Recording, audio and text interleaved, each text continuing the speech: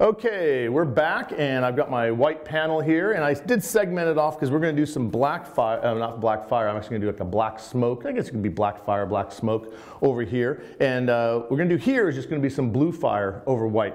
And again, I've been trying to change this up. Remember we did the traditional fire that was very untraditional, but you know, realistic fire look. And then we went to the really funky kind of green fire I did. And uh, the first one had a lot of colors, a lot of steps, a lot of techniques, a lot of push pulls back and forth. We discussed all that. And uh, this one, uh, and then we got even simpler with the green. We really only dealt with uh, lemon yellow, uh, emerald green, and uh, and white, and and that was it. I don't think, I, and I did. I, I saw I was going to come back in with black. I didn't. There's only three. okay, um, we're going to do it in two. It's like, name this tune. Let's name that fire, paint that fire. I can do it in two colors. So we're going to do it with Cree blue and white. And I could honestly probably get away with not using the white. Now, can I even go less than that? No, you can't. You got to have paint in your airbrush to do something, otherwise it's air. But we're going to use with Cree Blue, and I got it mixed up already three to one, as we talked before, 40-50. And that's three parts candy, one part 40-50. And then add a little bit of 40-11, about 5%, stir, stir, you know, why do I only add about 5%? If it was an, another paint like uh, a thicker paint, yeah, I would add maybe up to 10%. The candy is so thin on its own, it kind of thins down that 40-50 when you mix it all up. And it's still too thick for me to be happy with with the airbrush, so I add a little bit of reducer in that and just makes it kind of grade 8 better. Now, when working and starting out just with the candy and not an opaque, uh, you got to be a little bit more careful. I'm like honking on that opaque, but you honk on the candy, you're going to get runs and drips. And you got to be really careful on dragging the airbrush through it. If you're working with an opaque and you drag the air, not the airbrush, the stencil, and you leave a mark, you can always come back in and cover it up. You can't cover things up with a candy. All you do is darken and accent them. So we're going to um, Let's see how this goes. It's, everything's an experiment here. It's like, you know, we, we don't have any B-roll. Everything is, everything's the B-roll. So I'm going to, over here, just do a little bit of a, see how I like this color. And I'll do a lot of what I call air spraying, where I'm just going to be, you know, spraying the, the, the air just to make sure the paint dries. Maybe move that up a little bit like that. That's a little something in the paint. And then uh, let me make one here.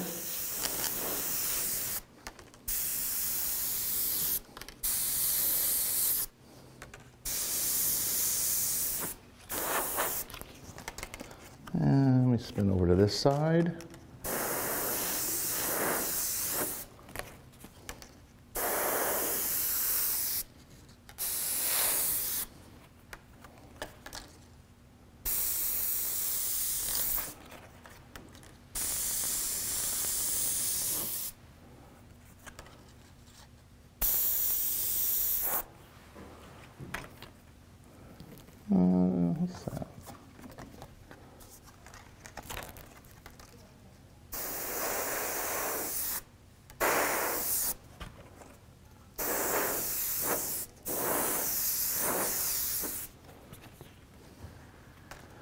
And I'm just kind of moving this around a little bit. Kind of creating shapes, which is all this is really about. I want more and more blue down here at the base.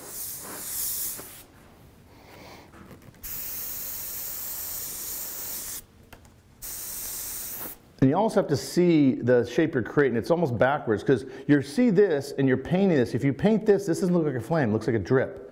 So I'm painting what the stencil's not. So you're kind of like just herding the paint around a little bit. It'd be like those guys that do the sand paintings and they kind of erase and move stuff away. So that's what we're doing, except we're not really erasing. We're just focusing on where we're not painting. It's a little bit of a different mentality, and it takes some practice to get into it. If you're not careful, you create, instead of realistic fire, you can easily create realistic spaghetti. It just looks really, really bizarre.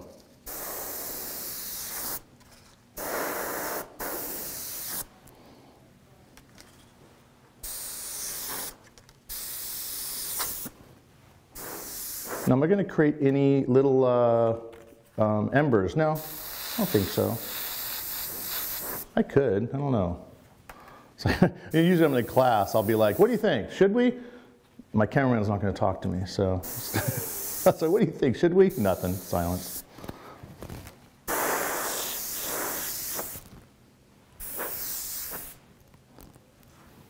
Kind of digging that. Just fog a little blue over the whole thing lightly, that when we unmask it, we actually have a separation of a panel. Otherwise, it just won't look like anything. So it looks like I didn't do anything. Trust me, there's blue there now. I'm gonna do a real subtle background shape back there. So the whole area looks like it's fire coming out of it there. And let's grab the little guy. Let's grab the little stencil. Sometimes he's fun to play with. Throw him in there for some different level of detail.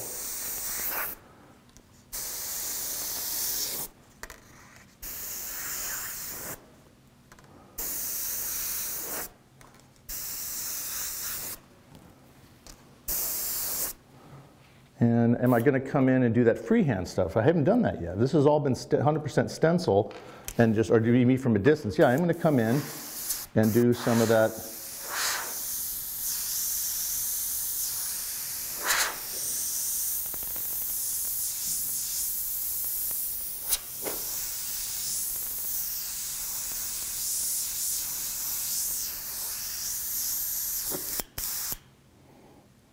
chunk in there. Also, be really careful whenever you're painting, always have a needle by, because you want to make sure and check that hole in the top. If that clogs up, it can affect the paint flow. And then also, every now and then, I'll like maybe release the end cap a little bit and retighten it. And the reason I'm doing that is sometimes paint gets wedged up inside there on the inside.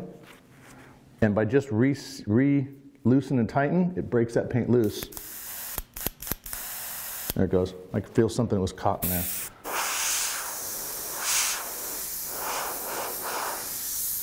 There you go. That's, that's much nicer. Get nice and blue down here because I'm going to come in with that white. So I am going to use white. I'm not going to just do it in one. I could have. Uh, much nicer. So I like this because this gives it kind of a cool little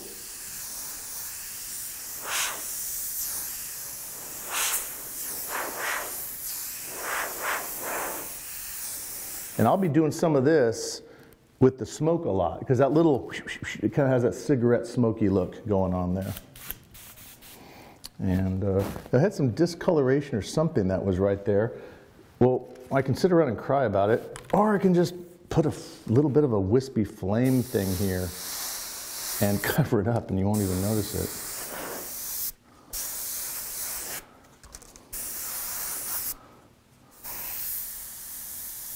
Nothing like a little side, little, little distraction to hide an imperfection. And of course, you know, no good deed goes unpunished. It's like, oh, we made a little, we did something over there. Got to balance it out with something over here on this side. Nothing wrong with that. I really dig these little weird little random wisps. It's kind of cool looking. Plus, it takes away that stencily look. You know, you get these areas that look like too stencily. If it looks too stencily, Anytime you do a technique, here's a little food for thought. Anytime you do a technique and it looks like a technique, in other words, it's like, oh, I really like the way you did the drop shadows. You just did too many drop shadows. Oh, I like the way you used that stencil. You used the stencil incorrectly. Stencils, techniques, tricks. People should say, oh, I love the portrait. Oh, I like the way you did that mural. Not, oh, I love your, the way you did that eraser uh, scratching you know, I love the way you did the highlight. You know, it, if you look at something, you say you like it, and then you say, well, what do you like about it? And then an artist comes in and says, well, I like the technique you did here. That's fine. But when an average person off the street's like, oh, I love it when you use stencils. It's like, ah, oh, screwed up. So these are all techniques. They're not the end all be all of the paint job. Do not make them the star of the show. They're the extras. Nothing wrong with it. They're important. They don't need that much attention. Yeah, I'm digging that. That's cool. Let's see if we can bring in some white and not ruin it. Now, the reason I say that is I can just leave it right there and say, this is my fire in one take. But again, that's not the point. It's like, let's do the best. Now, I may use this white and say, mm, yeah, next time fire in one take's a good idea. You know, sometimes, how do you know when you've gone too far? I get that all the time from my students. Like, how do you know when you go too far? I go, uh, you go too far and you don't do it again. Because otherwise you never you're just going to take it as someone else's hearsay someone else's point of opinion point of view maybe their ability maybe they sucked and maybe they can't take it as far maybe you could take it further you need to have a little bit of ego thinking i can do it better than that person even if you know that person's better than you you still can probably do it better if you do it differently so let's go ahead and try the white and see if uh, Uncle Craig's wrong and he should have stopped at blue. Okay, now how am I going to do? Am I going to use the stencil? I'm going to start freehand. What do you think? What do you think, cameraman? Give me a nod. Stencil, freehand. Freehand. Oh, he spoke. Okay, freehand. Let's start over here. And this blue, I knew it was going to do this. I'm kind of stoked about it because that way, if I make a real big mistake, you'll never know because it absorbs. It's the candy is so reactive. It's taking my white and just kind of absorbing it, which is great. It, it adds a little softness in there. So I can do some embers. You said you weren't doing embers. Shut up. Yeah. So what? I said I might not do embers. In this situation, embers are perfect because the blue, I've got to hit it like three times before that white really pops. Oh, I love that. That's, that, that makes me happy. Because if I come in and I do a one thing of white and then the white just goes, then you're like, oh man, you got to come in with more blue.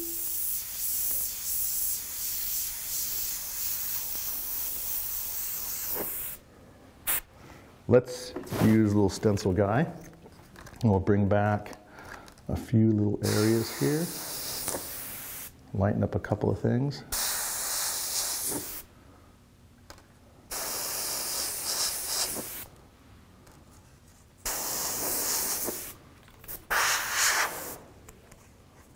Now be careful. You don't. Your stencil gets starts getting wet, and you put it on the surface.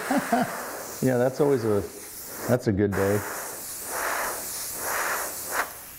It's not going to ruin the piece. It just all of a sudden creates some more work. Like, okay, I guess I'm going to have to do that little weird splat of paint on the rest of it to make it look like it did on purpose.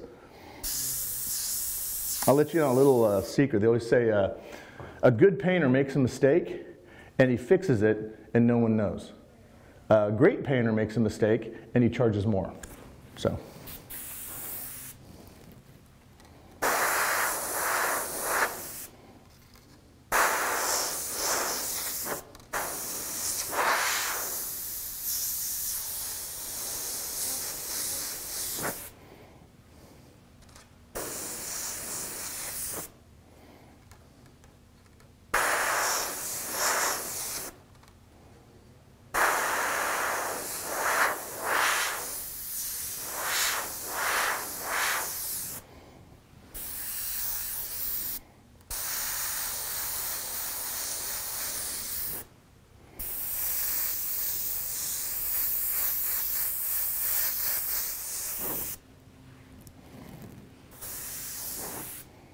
I think that's it. I'm not going to do any more to that. You can keep on fudging it around, you know, softening up a few things here and there, but I think that gets the point across.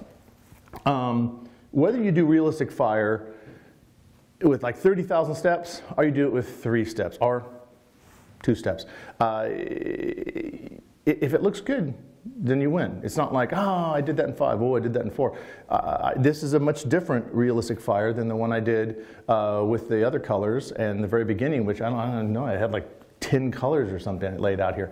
Uh, the, the black is going to be just, just black. You know, I, I, I, will, I will not even come in with white on it because that gives a little bit, I don't want there to be fire inside. It's just going to be like a smoky type thing. So I'm doing that only in one. So yes, I will be doing something in one step. It's more of a smoke effect look. Whatever you're doing, how many few steps, the one thing you want to make sure is that every step has a reason. If you're doing something, that step has no reason. Or let's say that step is, is counteracted. I'll do sometimes something that takes 10 steps, and the fifth step, I then covered up with six and seven and eight, and did the fifth again as nine. Well, that's because I'm making a mistake. You make a mistake and have to fix something, the next time you do it, you don't make the same mistake and fix it again. You just don't make the same mistake. That's why when you do something in 20 steps and the next time you do it in 10, you either A, figure out a better way, or you're just not telling people that, yeah, 10 steps, so that was a screw up. That's the game. Every step, everything you do has to have a reason. If it's, you say, why'd you do that? Well, the first time I did, it, I made a mistake, so I'm making the same mistake each time to give it that same essence. Oh, bullshit. Make the same mistake each time because you can't even analytically figure out that it was a mistake. You don't even know what you did right, so you think everything is sacred. Don't, don't be that artist.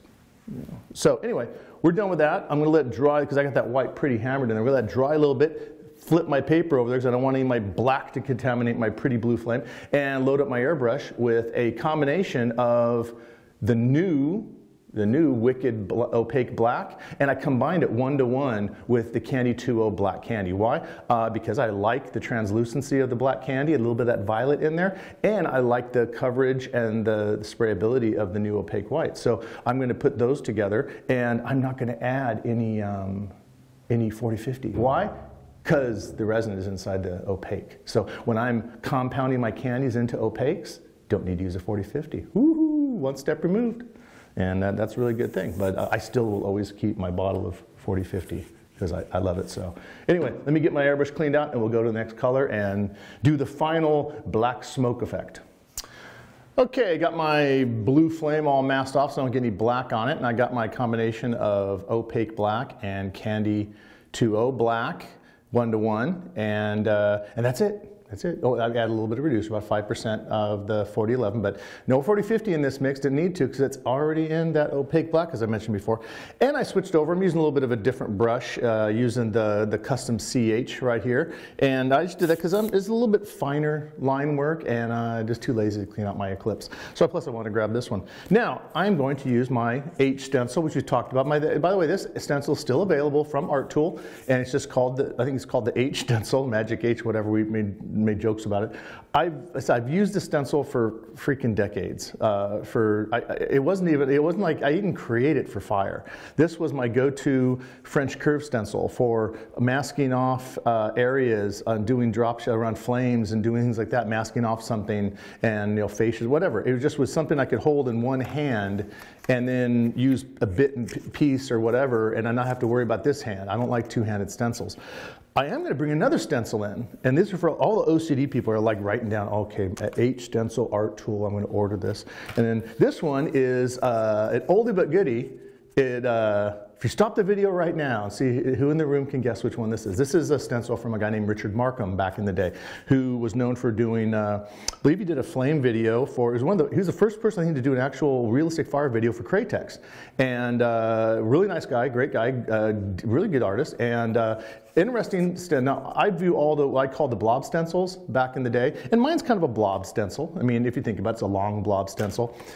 I don't use these for fire that much. Um, I uh, because one thing, once this is not it. You need more than just one stencil to do that. This one has the long curves I like, but this works good for smoke. Now, for those of you out there just scream, we can't buy it. You might be able to find it. Who knows? It might be out there. Just here, here, Photoshop. You'll just screen grab, cut out, make blob stencil yourself. See, there you go.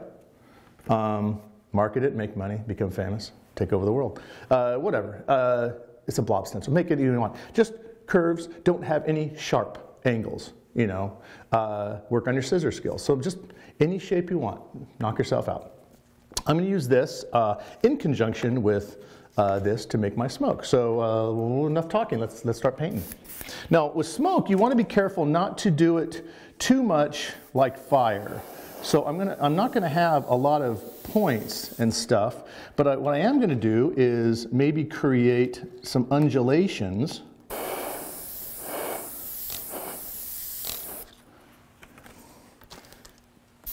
And I don't want any interruptions in like these undulations. So I'll just kind of make this kind of thing going on there. And right now it's like, that doesn't look much like smoke. I know, I agree, it doesn't, but just wait, wait for it, wait for it. You also want to come in and create some secondary shapes. Let me see. I like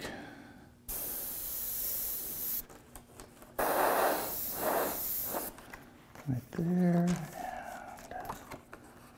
Let me see. got to get used to I haven't used a stencil like this in a while, so I got to think about it. It's always a warning sign when I got to think about something. Like, uh oh, Craig's thinking. You can, you can smell the burning gears.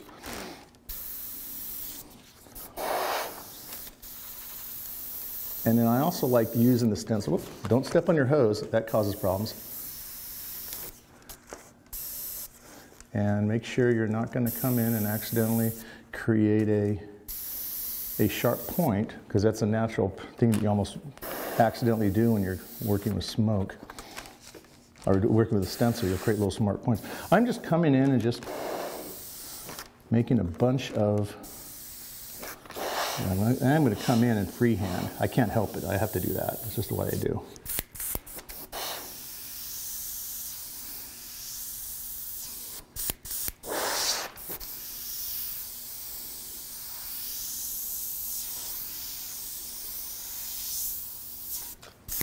Let me add a little bit more reducer to it. I think I need a little bit more. Probably should, you know, if it was the Eclipse, that would have been the perfect mix. I'm getting a little bit of spitting right now, just because I'm not using very much pressure. Oh, that, turn the pressure up. Yeah. There you go. Cool. Well, I shouldn't say cool. I haven't tried it yet. It might, might be horrible and it might not work at all. Um, no, cool. Good. Uh, let's try this one.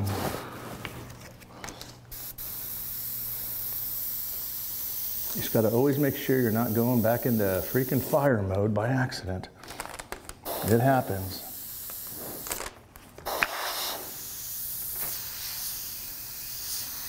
Now I am to, there we go, I wanted that really dark right there.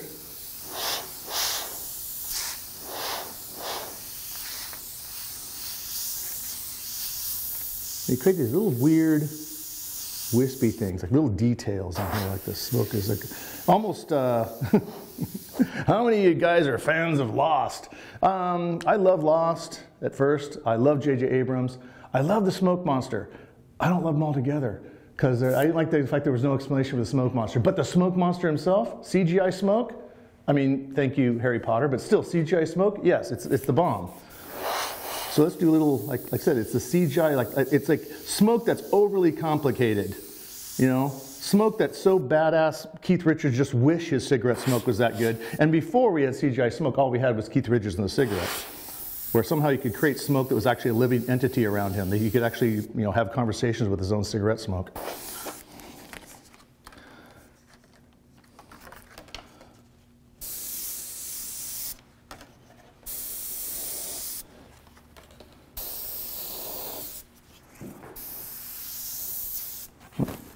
Stop here.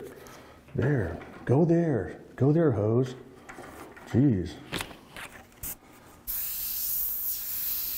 In the videos for the last couple days, and my hose all of a sudden now is copying an attitude. No, Craig, I want to go over here. I don't want to be a hose anymore. I want to be an airbrush. I want to hang out with my new friend, your shoe.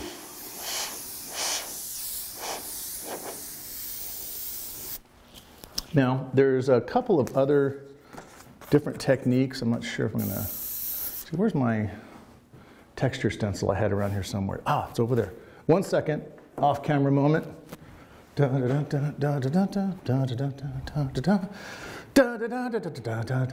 And we've got, yes. Now, the reason this is fun is you can come in with this guy, Gerald Mendez's texture stencil, thank you very much, and we move it and we get a really cool undulating smoke. As long as you don't catch it on the little weird strap over here, a weird connector, you can do some really cool, and this is when the paint's wet, it drags in a very cool way. Oh, yes, smoke monster. Oh, fuck, freaking smoke monsters are badass. There we go. Very happy with that.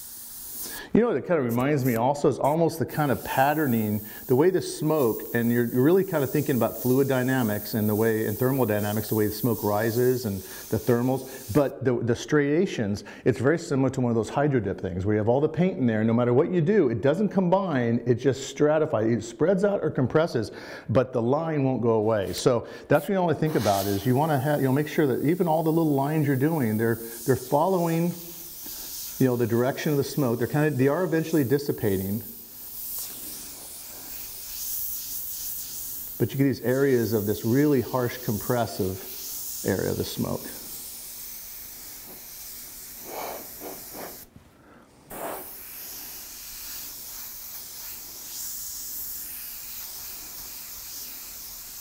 Can you do too much? Yes. How do you know when you've done too much? Like I said before, you do too much, and then next time don't.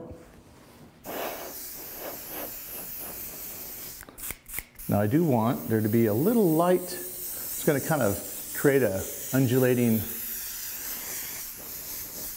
level of smoke around the whole piece. So when I unmask this, you'll have a very light, granted faint, but it'll be there, it'll be, you'll see it, distinctive layer of the smoke around the outside so it have a border.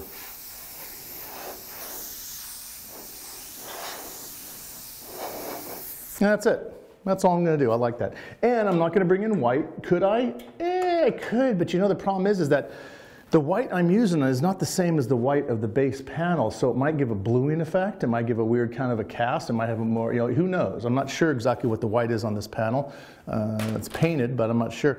If it's a powder coated panel, you don't know. Plus, you don't want to bring the white in. White's for highlights. Smoke doesn't have highlights. Now, if I was going on top of a black panel, yeah, use white. Use white on top of black panel, white smoke, like cigarette smoke. So on a, on a white panel, but the black smoke just has a really cool, if you want to see some really cool, inky, scary, freaky smoke. Um, matter of fact, what Black Smoke Monster's original inspiration was from is acetylene smoke. We used to do this old technique where we use a acetylene torch with oxygen turned off and the acetylene turned down very low, and you just get this sooty, black, crappy smoke, and you waft it as it's coming out of the torch. It's this black, it's just it's dripping ash. You waft it towards the paint job on the graphic, and the smoke that's swirling around sticks to the paint job in a smoke pattern. So it literally is like you captured the smoke, and now you can't touch it, it comes right off. So as soon as you get it on that graphic, then you come in and you lightly hit it with Intercoat Clear. Uh, you can hit with 40-50, just or you know really lightly, and it locks it down, and then you get what's called, is called an acetylene smoke trick. And you used to do that on top of silvers and put candies on top of it. Um, we we in, in, reinstigated, re, reinst, what is it? We basically are starting a new program here at the videos at Createx Colors called uh, the Cheap Tricks and Special Effects series, in which I'm going to show in the future. I'm going to have to see if we can find a, a set of uh, acetylene torch. Uh, bringing it in here and show the old school way of doing it, and some other ways you can do it just by burning masking tape, which is nasty, but it does sort of acetylene's better. Uh, plus, I just want to see Kennedy's face when I'm actually uh, playing with an acetylene torch in his pretty clean white booth. Um, but we're going to do that. That'll be a cool effect. Matter of fact, please, the, the, reason we're doing this is you guys asked for these um, for these uh, on, on the, te the tech tech line on the you know the, you went online and said hey wouldn't it be great if you did some uh, some some realistic fire some different versions of it? So hey we did it for you. We not only did realistic fire we gave you J.J. Abrams Smoke Monster. And uh, granted, just like Lost, we won't explain the origins or even why it exists, but we'll just sit back and ooh ah at the factor of it. And so we got our blue fire, we got our, our black smoke. We are going to have Chris Arpin come in and clear all four of them because uh, these look pretty good on their own. But those other two are going to look really, really good cleared. Anything over black looks better cleared. White is, is it'll look about the same, except it'll be shiny. So we'll get these suckers cleared, have them all together, and then we'll close off this video. So hope you've been it so far, and uh, stay tuned. We're going to show them clear coated. Well, I hope you've enjoyed our realistic fire video and we gave you four distinctly different styles of realistic fire as well as different application techniques, different processes over white, over black, using candy, using candy and opaque, using just opaque, using the new Createx uh, opaque colors. Uh, had a good time doing it, had some fun, uh, showed using the H stencil as well as uh, using uh, an old Richard Markham stencil for that, um, that smoke. I do a smoke monster thing also, so which I've not done in the video. Uh, that's a, I can't really think of any other way to wrap it up. This video is because of you guys. You guys go on that the computer and you, you start asking questions like, hey, I want this video. Hey, I want that. Uh, keep it coming. You, you keep on asking for videos and we'll keep on giving you videos. That's the way we do it over here. It's how we roll at Createx Colors in the beautiful downtown East Granby, Connecticut. And I am Craig Fraser. I will see you next time.